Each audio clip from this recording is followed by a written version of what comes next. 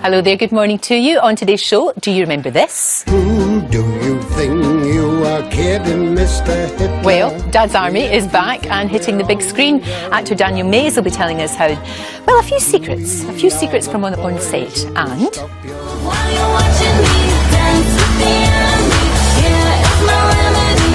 Oh, oh, oh. she gave us the remedy. Little Boots tells me about, well, taking big steps with her brand new look and album. Also on the show, we head over to Hollywood to meet residents of Venice Beach. And at 10 past 9, Mark is here with the ultimate fashion throwback, the bum bag.